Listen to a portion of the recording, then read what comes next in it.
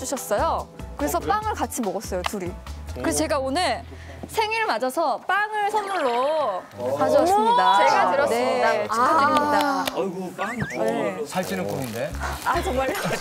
영혼의 살이 찌는 꿈인가요, 혹시? 네. 아유, 감사합니다. 운명의 장난은 영화에서도 일어납니다. 대통령 후보 유영국 방금 네가 죽였어. 어느 날 갑자기 짜여진 각본처럼 대통령 후보 암살범으로 지목된 택배 기사가 자신의 누명을 벗기 위해 필사적으로 싸워나가는 영화 골든 슬럼버.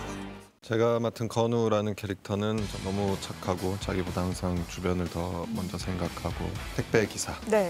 역할입니다. 착한 어, 친구, 위기에 빠진 친구, 건우라는 친구를 둔 금철 역할을 금철. 맡았습니다. 예, 저도 착한 위기에 빠진 건우의 친구 역할 장동규를 맡았습니다. 네, 저는 착한 건우를 돕는 이 모든 사건의 비밀을 알고 있는 의문의 사나이 민 씨 역할을 맡았습니다.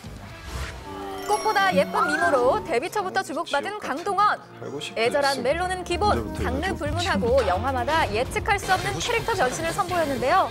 이 남다른 연기 열정으로 칭호로를 종횡무진, 한층 성숙한 배우로 성장했습니다. 얼굴이 안 변했어요. 한순간에 암살범이 된 선량한 시민 역할을 네. 맡으셨는데 억울한 누명을 쓰고 도주를 하느라고 꽤나 고생을 하셨다고 들었어요. 영화 처음부터 끝까지 거의 계속 뛰어다니고요. 네. 예, 하수구 안에도 들어가고 냄새가 뭐가 막, 막, 막 떠내려오는데 이게 뭔지도 모르겠고 한국 영화 사상 최초의 광화문 세종로 대규모 폭파씬.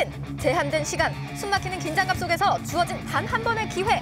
4시간 딱 주어지고 그 안에서 찍었어야 돼가지고요. 폭파 씬도 찬스가 딱 한 번밖에 없는 기회였어가지고 그거를 NG를 내도 안 되고 네네. 무서웠어요. 되게 긴장되고. 예. 긴장되셨겠다.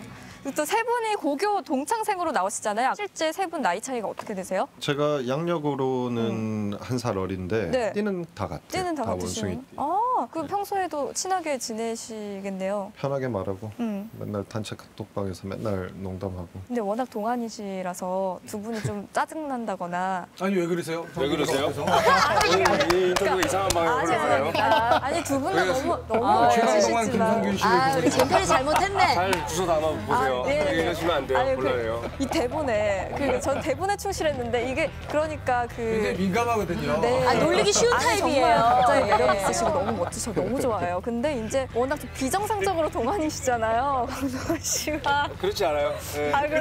그렇지 않고요. 네. 좀 전까지 우리 둘이 외모 배틀하다가 왔어요. 아 정말요? 예. 그러면은